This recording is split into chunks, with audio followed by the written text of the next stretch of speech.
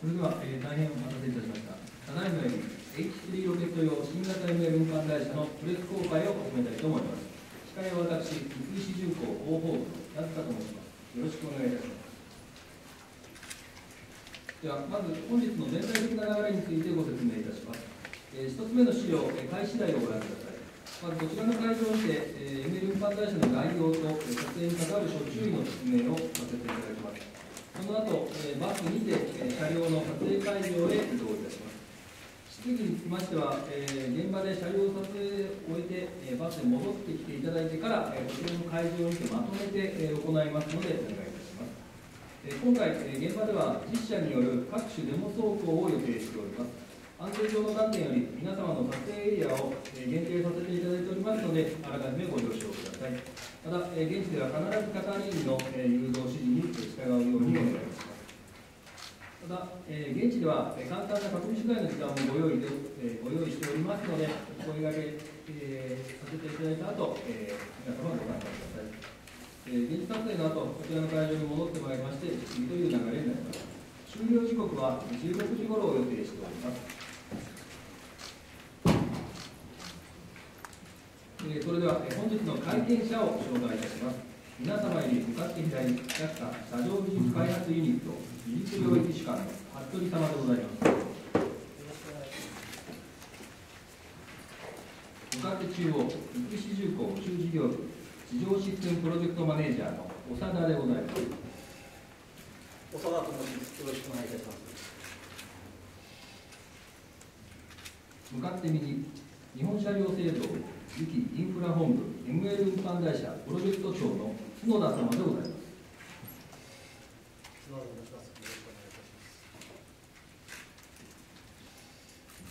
それでは体験者より新型 ML 運搬会社の概要について説明いたします。本日の目次となりますが、えー、次のページお願いします。えー、まず、えー、H3 ロケット開発概要についてを JAXA 様より続いて ML 運搬会社とはこちらを三菱重工よりそして最後 ML 運搬会社の特徴について日本車両製造様より、えー、順にご説明させていただきます。それでは、えー、まず最初、えー、JAXA の服部様よろしくお願いいたします。はい、えー、ご紹介に預かりました JAXA の服部です。H3 ロケットの開発概要についてご説明いたします、えー、座ったままで失礼いたします。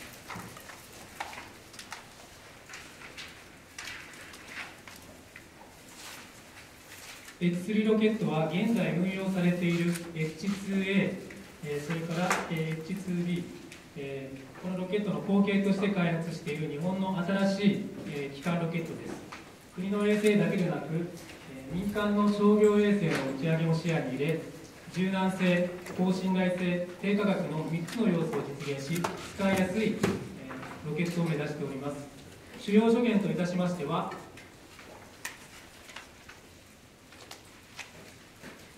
主要証言といたしましては、全長約63メートル、パワーロケットの直径は5.2メートルです。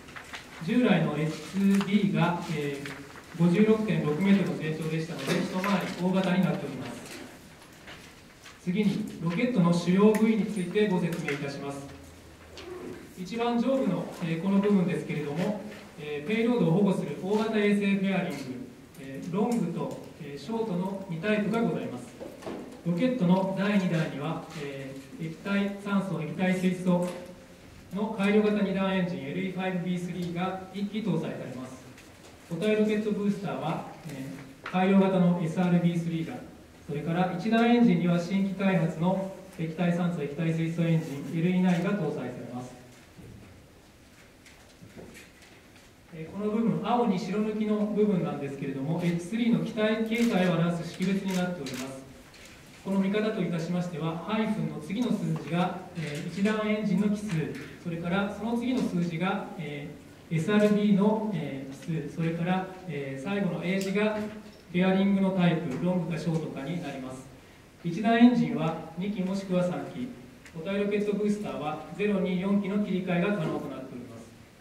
装着する一段エンジンや固体ロケットブースターの数、それからベアリングの形態によりまして、衛星や探査機等の大きさや軌道に応じ使う側の利用用途に合った、え価格能力の提供を目指しております。例えば地球観測衛星のような大量同期軌道、え、今固体ロケットブースターがない30形態それから大型の静止衛星につきましては、え、24形態という使い分けができます。これが、え、先ほど申し上げました柔軟性という部分になります。高信頼性という、え、部分に関しましては従来の H2AB ロケットの高い打ち上げ成功率を継承いたしましてシステムの簡素化を進めさらにこの特性を高めていきます。また価格については30形態で、えー、従来の約50あ約、えー、従来から約半額の約50億円を目指しております。次に開発計画を、えー、説明いたします。X3 ロケットは2020年度に試験機1号機の打ち上げを予定しております。試験機2号機の打ち上げを評価し、えー、開発を完了する予定で総開発費は約1900億円となっております。現在は、えー、各サブシステムの、えー、制作試験が、えー、進んでおります。えこの中で重要なポイントは、えここに書いてあります、え DFT と申しまして模擬タンクとエンジンの組み合わせ試験それから、え次に CFT と申しまして、えフライトタンク相当とエンジンの、え組み合わせ試験それからロケットと、え地上設備の、え組み合わせになる地上総合試験がございます。打ち上げに関する項目の検証を行いまして2020年度の打ち上げに臨んでいきます。本日はスケジュールの、え、一番下にございます地上、え、設備の一部である ML 運搬台車の公開ということでありますので次に H3 を打ち上げる主要設備についてご説明いたします。H3 ロケットは H2AD と同じく種子島宇宙センターを活用して打ち上げを行います。H3 を治療設備として使いやすいロケットを目指し整備期間の短縮維持費の低減に取り組んでおります。以下は、え、H3 の、え、H3 に使用いたします代表的な設備を示しております、新規で整備するものを、え、こちらの赤枠に、え、示しております、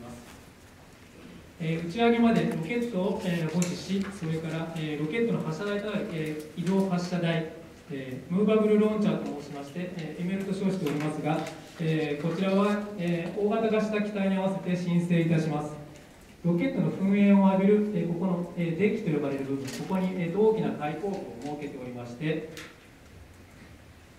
打ち上げ時に焼損してしまう部分に極小化を図り、整備期間短縮を実現します。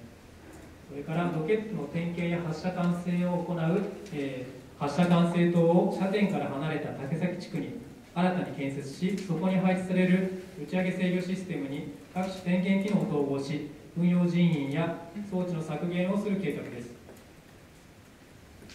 回収流用する設備をこちらの青青枠で、え示しております。大型ロケット組み立て等におきましてはロケットを組み立てここでロケットを組み立てるんですが整備期間の短縮を図るため一度機体を発射台に立てた後は物理的なアクセスをほとんどすることなく機器の転勤ができるように計画しております。その他、え、打ち上げ射点となります、えー、車載それから、え、推進薬の供給設備この辺りが、え、回収流用する設備にあたります。必要な設備は申請する一方でこれまで使用してきた既存インフラの有効活用を図りまして H3 の運用期間20年を考慮した上で可能な設備を、えー、更新をしながら使っていく、えー、そういう方針になっております最後に H3 のえ機体設備の開発状況について写真を交えご説明いたします。第1弾のえ液体酸素液体清楚エンジン LE9 は実機型燃焼試験えを実施中です。また、固体ロケットブースター SRB3、こちらは地上燃焼試験を実施中です。いずれも種子島宇宙センターで試験を行っております。H3 ロケットの点検、発射管制を行う竹崎竹崎発射管制塔は今年3月建屋が完成いたしまして内部機材の据え付け配線等を現在実施中です2019年の夏には機材の導入が完了する予定になっておりますそれから、えーと、X3 の、え3ロケット用の移動発射台、こちらになりますが、えー、工場での製作を終えまして現地工事が開始されております。えこの、えデッキといわれるこの部分ですね、これが、えー、と22メートル ×25.5 メートルえ、それから高さが66.5メートルという非常に大きな装置になります、え、写真は工場での仮組み状態を示したものでしてこれを一旦いくつかのブロックに分けて種子島に輸送し再度組み上げます。この後本日公開されます運搬台車に、ML を搭載した走行試験を2019年の5月頃予定しております、これらの、機体それから設備が、2020年には種子島に集結し地上総合試験を迎える予定になっておりますこの、巨大な移動発射台、それから、完成したロケットを運ぶ唯一の装置がこれからご説明をする ML 運搬台車となります。この後のご説明は三菱重工業、長田さんにバトンタッチしたいと思います。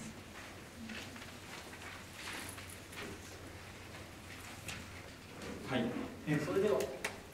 それでは引き続きまして、えー ML 運搬台車とはということで、この運搬台車の使用目的ですとか、えー主要諸言、それから特徴といったところにつきまして、私の方から説明をいたします。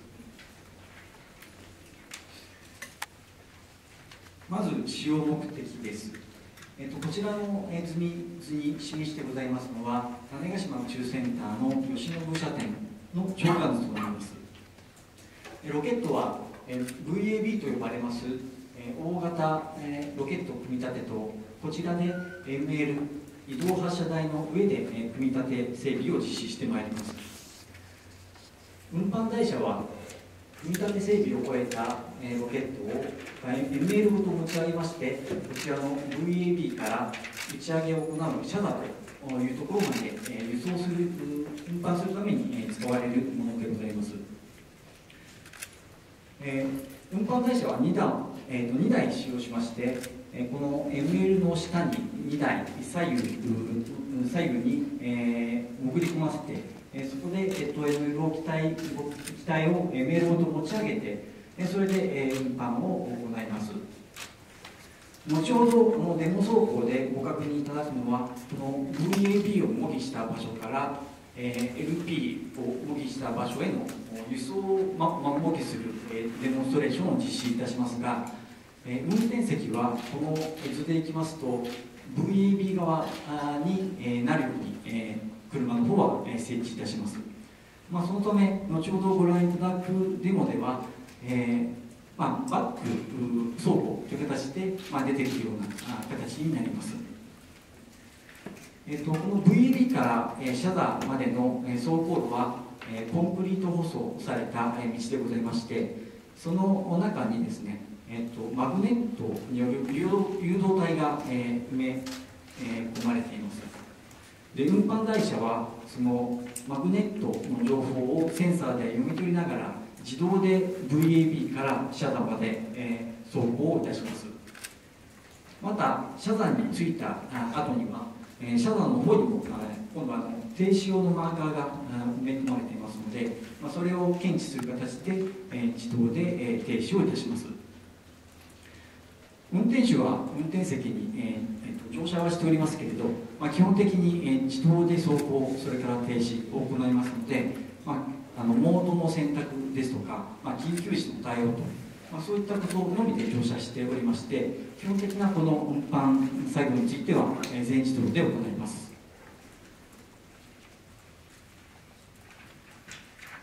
こちらの図は、えー車点を上から見た図となっています。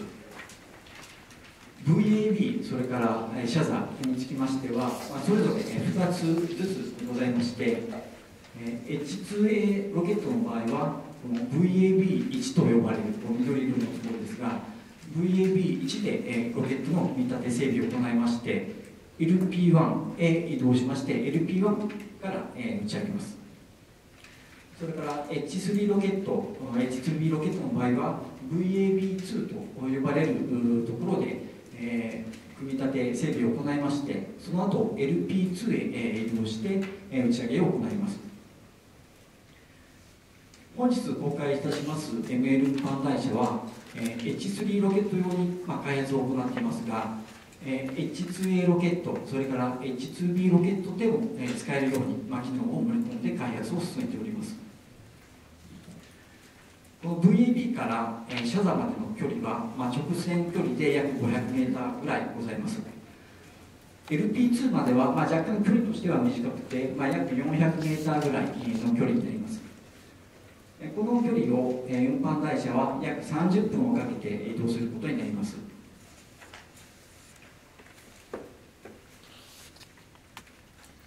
次に主要諸元についてご説明をしたいと思います。車体の大きさ寸法ですけれど全長は約25メーターございます。それから全幅前方につきましては約3メーターとなってございます。この大きさは、えー他の設備例えば、えー担ぎ上げる ML ですとか走行路、まあ、こちらの制約から、えー決まってきてございますので、えー基本的にはあの現在 H2A ロケット H2B ロケットで、えー使用している運搬台車と、まあ、ほぼ同じ大きさとなっています。それからこちらの下の方に示している図は、えー、運搬台車を横から見た図となっていますが、まあ、ご覧のように、まあ、たくさんのタイヤがついています。車軸数につきましては、えー、と計えー14軸ございます。それでこの1軸あたり、えーユニえー2つのユニットからなっています。このユニットっていうのはあの運搬台車を操舵する最小単位となってございまして1つの軸あたり、えー2ユニットからなっていましてもう1つのユニットには2つずつ、えーウレタンタイヤが装着されています。従いまして、トータル56輪の、タイヤがこの運搬台車1台あたり、装着されているということになります。それから重量につきましては、車体重量が約150トン。それから、積載能力としましてはこれはあの先ほどご説明した通り2台ワンセットで使いますが2台あたり1460トンの、積載能力を保有しております最高速度につきましては時速 2km ということでこれはあの積載状態 ML を担いだ状態でのえスピードとなっています、まあ、2km ですので、まあ、人間がまあゆっくり歩く、まあ、それぐらいのまスピードだとお考えいただければいいかと思いますちなみに単車状態、えー車単体では、まあ、約3キロぐらい、時速3キロぐらいが出るというような車となっています。それから続きましてあの自動制御について、えー少し補足をさせていただきます。まず定点停止制度です。こちらは VAB から ML を、えー車座に、えー動かした後、まあ、車座で、まあ、決められた位置に ML を着座するわけですけれど、その着座制度につきましては前後左右で、えー25ミリプラスマイナス25ミリということで、まあ、1460トンの、まあ、巨体をですね2センチぐらいの精度で精度で止めると、まあ、いう性能を有しています。それから水平精度につきましてはプラスマイナスコンマ2度ということで ML をこう担いだ状態、まあ、機体が、えー起立した状態のまま ML は、えー動くわけですけれど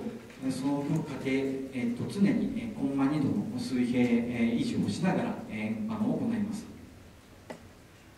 それから、えー加減速度につきましては 0.08G 以下ということで、まあ、この 0.08G と、まあ、言われてもなかなかピンとこないかもしれませんけれど、まあ、一般的な、えーエレベーターの,、まあ小まあ、あの上昇時下降時の、えー加速度が、まあ、コンマ 1G 程度と、まあ、言われていますのであのエレベーターに乗って、いる時の、まあ、感覚を思い出していただければいいと思いますが、まあ、それぐらい、えーゆっくりとした動きで、えー加速減速を行います。ちなみにここに書いてある、えー数字は全て要求値スペック値となっていますので、まあ、実際の車の性能は、まあ、これよりも、まあ、さらに、えー上の、えーえー性能を有しています。なおなぜこのようなあの精度が、えー求められるのかということを少しご説明いたしますと、まあ、一言で言えばロケットが華奢な作りになっているからということでございます。まあ、よくあのロケットの構造の、えー例えとされるのが、まあ、缶ビールですかとかジュースに、まあ、例えられるんですけれど、まあ、中身は、まあ、ほぼ、えー液体、えー燃料となってございましてその構造は、まあ、極めて、まあ、軽量に作られています、まあ、そのためあまりあの激しい、衝撃等が加わると、まあ、ロケットが壊れてしまいますのでなるべくお丁寧に、まあ、あの優しくロケットを運搬すると、まあ、そういう使命がこの運搬台車には、えー課せられています。